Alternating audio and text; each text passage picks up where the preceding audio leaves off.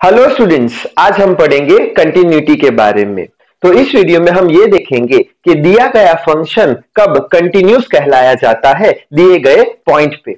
और साथ साथ में दो तीन न्यूमेरिकल भी देख लेंगे, जिससे करके कंटिन्यूटी का सारा कॉन्सेप्ट क्लियर हो जाए। So I hope you are ready with your pen and paper so without wasting much time let us start this video तो अब कोई भी फ़ंक्शन कंटिन्यूस है कि नहीं, वो हमें चेक करना है। तो सबसे पहले तो एक एग्जांपल ले लेते हैं, जैसे कि हो गया three x square plus five y ये एक फ़ंक्शन देके रखा है और हमें चेक करना है कि ये थ्री टू पे कंटिन्यूस है या नहीं। तो उसके लिए तीन कंडीशन सेटिस्फाई होनी चाहिए। ये तीन इंपॉर्टेंट कंडीशन है जो बोर्ड पे हम देख लेते हैं। पहली कंडीशन कौन सी है? कि जो फ़ंक्शन हमें देके रखा है एफ़ ऑफ़ एक्स वाई वो फ़ंक्शन डिफाइंड होना चाहिए। कहाँ पे? At x not y not पे। ठीक है? ये क्या हो गया हमारा? एफ़ ऑफ़ एक्स वाई ये फ़ंक्शन डिफाइंड होना चाहिए। कहाँ पे? एक्स नॉट वाई नॉट पे। यानी या ये पॉइंट पे ये फ़ंक्शन डिफाइंड होना चाहिए। ये फ़र्स्ट कंडीशन है। तो कैसे? कि ये एफ़ ऑफ़ एक्स वाई यानी ये थ्री टू रख दे। किसके अंदर? इसके अंदर। सो ये थ्री एक्स की जगह क्या रखेंगे? थ्री स्क्वायर प्लस वाई की जगह क्या रखेंगे? टू तो ये हो जाएगा ट्वेंटी सेवन प्लस टेन तो ये हो जाएगा थर्टी सेवन। यानी कि ये जो फ़ंक्शन हमारा है थ्री टू ये क्या है? डिफाइंड है। ठीक है? क्यों डिफाइंड है? क्योंकि उसकी वैल्यू 37 है इनफाइनाइट नहीं आ रही तो ये फ़ंक्शन डिफाइंड है। तो यहाँ पे फ़र्स्ट कंडीशन में ऐसे लिख लो कि f x not y not कैसा होना चाहिए? डिफाइंड होना चाहिए। F x not y not यानी कि ये हो गया x not y not x not y not f of x not y not कैसा होना चाहिए? डिफाइंड होना चाहिए। तो फ़र्स्ट कंडीशन सेटिस्फाई होनी चाहिए।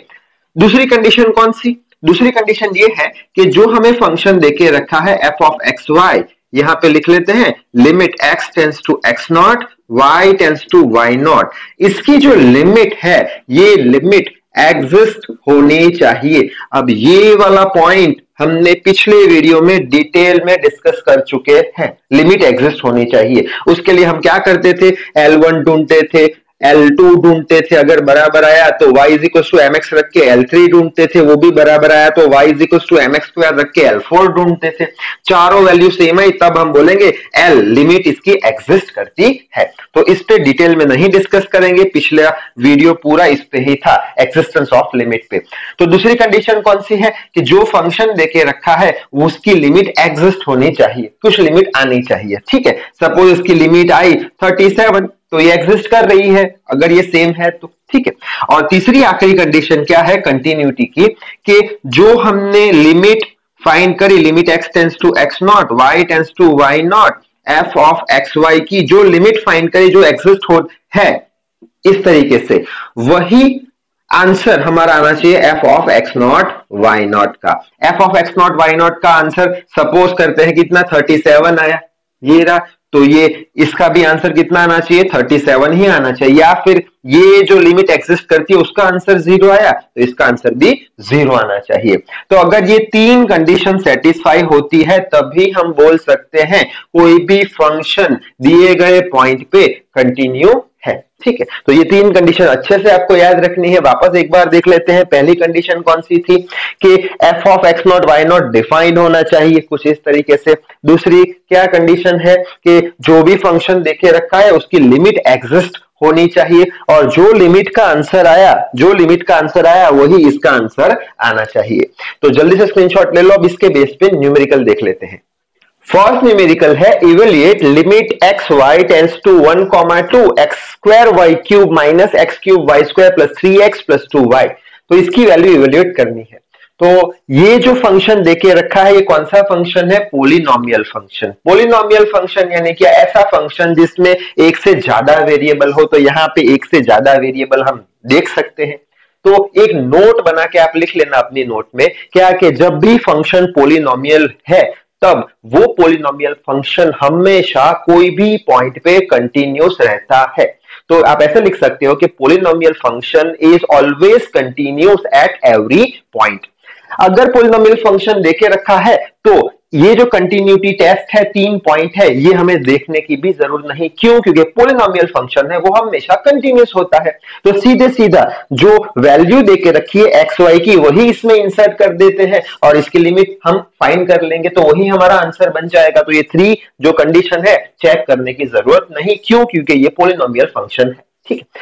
तो कैसे करेंगे? तो सीधा हम लिख लेते हैं x की जगह पे वन तो यहाँ पे x की जगह पे वन का स्क्वायर y की जगह पे आ, कितना है? टू तो टू का क्यूब माइनस एक्स की जगह पे वन का क्यूब y की जगह पे टू का स्क्वायर प्लस थ्री एक्स की जगह पे वन प्लस टू वाई की जगह पे टू तो ये हो जाएगा एट माइनस ये हो जाएगा फोर प्लस थ्री, ये हो जाएगा प्लस फोर। फोर से फोर कैंसिल हो गया, ये आ जाएगा इलेवन तो ये आ जाएगा हमारा आंसर। और नीचे नोट करके आप लिख लेना as it is a polynomial function so it it is continuous at everywhere next देख लेते हैं। नेक्स्ट है discuss the continuity of f of x y 3x square y divided by xy plus y square if xy not equals to 0 comma 0 and which is equals to 0 if xy is equals to 0 comma 0 ठीक है?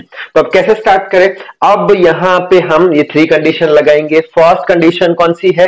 कि f x not y not defined होना चाहिए। तो वही कर देते हैं कि यहाँ पे f x not y not क्या होगा? ये वाला ले लेते हैं इजीनेस के लिए zero comma zero so zero comma zero इसके अंदर रखना है हमें, ये फ़ंक्शन के अंदर रखना है तो थ्री ये कितना हो जाएगा? ज़ीरो वाई डिवाइडेड बाय ये ज़ीरो ज़ीरो तो कितना हो जाएगा? ज़ीरो यानी एफ़ ज़ीरो कॉमा ज़ीरो ये कितना हो जाएगा? एफ़ इसको क्या बोल देंगे? F x not y not ये कैसा हो जाएगा? ज़ीरो कैसा हो जाएगा? डिफाइंड है. ज़ीरो का वैल्यू तो डिफाइंड होता है, ठीक है?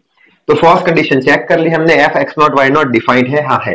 दूसरी कंडीशन ये वाली चेक करते हैं तो ये वाली कंडीशन क्या है? Limit x tends to x not x not है, यहाँ पे कितना है? Zero y tends to y not zero है। फ़ंक्शन क्या देखे रखा है? F of x y three x square y divided by x square plus y square ठीक है?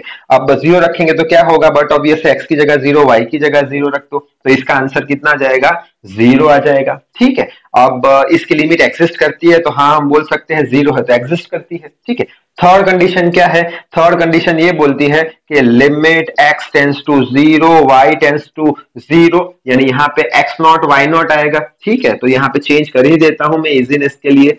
एक्स नॉट वाई नॉट जो भी देखे रखी है। एट पॉइंट ये वाला x not y not three x square y divided by x square plus y square इसका जो आंसर आया वो किसके बराबर होना चाहिए? F x not y not यानी इसके बराबर होना चाहिए एफ़ ज़ीरो कॉमा ज़ीरो तो है तो हम बोल देंगे इसका आंसर ज़ीरो है, इसका आंसर ज़ीरो है।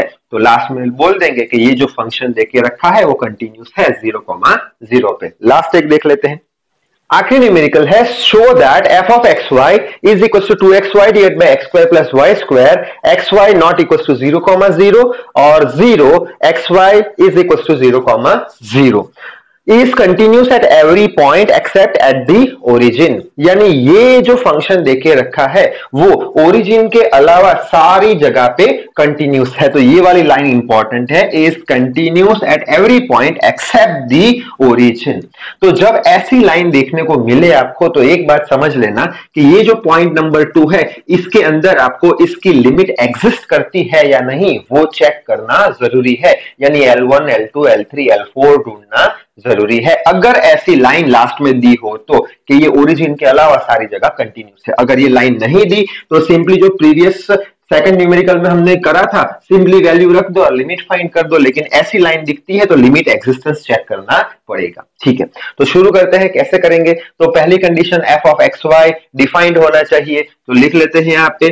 कौन सा है? ज़ीरो कॉमा ज़ीरो इजी पड़ेगा, ज़ीरो कॉमा ज़ीरो। ये फ़ंक्शन देके रखा है, इसके अंदर रख दो value so to zero zero यहाँ पे ज़ीरो प्लस ज़ीरो यानी f of zero comma zero का वैल्यू आ गया ज़ीरो ये डिफाइंड है तो हम बोल देंगे ज़ीरो वैल्यू तो डिफाइंड है। ठीक। अच्छा आगे बढ़ते हैं। अब क्या चेक करना है? कि limit x tends to x not y tends to y not इसकी लिमिट एग्जिस्ट होनी चाहिए। तो ये लिमिट एग्जिस्ट होती है या नहीं वो पहले चेक कर लेते हैं। अगर लिमिट एग्जिस्ट है तो थर्ड स्टेप पे जाएँगे। अगर लिमिट एग्जिस्ट नहीं करती तो हम बोल देंगे कि भाई ये फ़ंक्शन कंटिन्यूस नहीं। ठीक है। तो सेकंड कंडीशन के लिए क्या करेंगे? आ, लिख लेते हैं। Limit x tends to zero y tends to zero ठीक है। फ़ंक्शन कौन सा है? Two x y divided by x square plus y square इसकी लिमिट एग्जिस्ट है कि नहीं, वो चेक करनी है। क्यों? क्योंकि ये वाली लाइन लिख के रखी है कि ओरिजिन के अलावा सारी जगह पे कंटिन्यूस है, इसलिए। तो कैसे करेंगे? पहले L1 फाइंड करते थे। पिछले वीडियो में सारा डिटेल में देख चुके हैं। L1 कैसे फाइंड करते थे? तो पहले x की वैल्यू लगाएँगे। तो into the bracket limit x tends to zero ये क्या हो गया? Two x y divided by x square plus y square ठीक है। Which is equal to limit y tends to zero ये कितना आ जाएगा? X to zero y x की जगह ज़ीरो वाई अब वाई की जगह ज़ीरो रखोगे तो ज़ीरो आ जाएगा, यानी एल वन का वैल्यू हमें ज़ीरो मिल चुका है। आगे बढ़ते हैं यहाँ से करते हैं। अब L2 का वैल्यू फाइंड करेंगे तो L2 का वैल्यू कैसे फाइंड करेंगे तो उसके लिए हम बोल देंगे, पहले किसकी वैल्यू रखे? Y की तो limit x tends to zero ये limit y tends to zero function है two x y divided by x square plus y square तो limit x tends to zero y की जगह ज़ीरो रखेंगे तो टू एक्स ज़ीरो ये x square zero अब x की जगह ज़ीरो रखोगे तो ये L2 का आंसर क्या आ जाएगा? L2 का आंसर आ जाएगा ज़ीरो L1 बराबर L2 है तो L3 फाइंड करना पड़ेगा। L3 कैसे फाइंड करेंगे? Y की जगह mx रख के। So L3 is equal to limit x tends to zero फिर बोल देंगे limit y tends to mx रखेंगे ये फ़ंक्शन में two x y divided by x square plus y square ठीक है? Which is equals to limit x tends to zero इसके अंदर y is equals to mx रखो सो x, ये m into x divided by x square y की जगह mx तो m square x square so limit x tends to zero ये हो जाएगा हमारा two m x square divided by x square common निकाल देते हैं। वन प्लस एम स्क्वायर ठीक है? तो ये एक्स स्क्वायर से एक्स स्क्वायर कैंसिल हो जाएगा। आगे बढ़ते हैं L three is equals to. अब क्या बचा हमारे पास? हमारे पास बचा आ, ये two m divided by one plus m square. अब ये बचा हमारे पास तो ये limit x tends to zero निकाल देंगे। क्यों निकाल देंगे? क्योंकि एक्स का कोई टर्म है ही नहीं।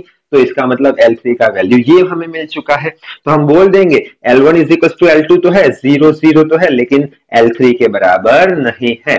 L3 के बराबर नहीं है और L3 डिपेंड करता है M पे, सिर्फ़ और सिर्फ़ M पे। इसलिए ये जो फ़ंक्शन देके रखा है, उसकी लिमिट जो है, वो डज नॉट एग्जिस्ट ठीक है? अगर इसकी लिमिट एग्जिस्ट नहीं करती तो हम बोल देंगे that function is not continuous ठीक है तो ये फाइनल आंसर रहेगा, इसका कि ये फ़ंक्शन कंटिन्यूस है नहीं। ये लिमिट चेक करने का कोई सवाल ही नहीं आता, क्यों? क्योंकि लिमिट ही एग्जिस्ट नहीं करती तो स्टेप नंबर थ्री पे जाना ही नहीं हमें। ठीक है तो ये सारा था कंसेप्ट कंटिन्यूटी का। सो आई होप आपको समझ में आ चुका होगा। तो इस वीडियो में बस इतना ही। So till then read hard work hard thank you very much